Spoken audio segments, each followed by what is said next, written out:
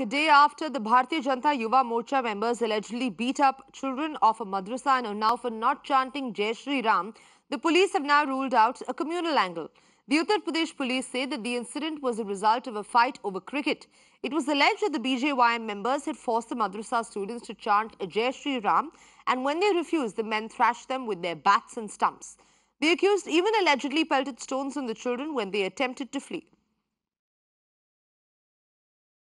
विवेचना के क्रम में इस तथ्य की पुष्टि हुई कि वास्तव में क्रिकेट के खेल के समय ही बच्चों के बीच झगड़ा हुआ था तथा कोई धार्मिक नारे नहीं लगाए गए थे। पूर्व में भी जनपद कानपुर नगर, अलीगढ़ एवं अन्य स्थलों पर भी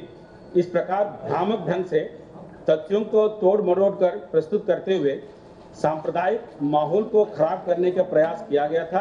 परंतु स्थानीय प्रशासन एवं पुलिस की सक्रियता से उसे निष्फल कर दिया गया Meanwhile, the Hindu Yuva Bahini workers staged a protest outside the police station demanding the release of the members who were taken into custody. आप सम्मानित मीडिया के बंधु हैं हमारे भाई हैं मगर ये कहना चाहते हैं कि भारतीय जनता पार्टी का कोई भी व्यक्ति इस तरह की घिनौनी हरकत नहीं कर सकता जो इसमें दोषी होगा, उसको ही सजा मिलेगी। जो लोग बिना मतलब का ये लाइन आर्डर खराब करने का काम कर रहे हैं, उनके साथ अनुशासन की तरफ़ से, प्रशासन की तरफ़ से हम लोगों की तरफ़ से ज़रूर कार्रवाई की जाएगी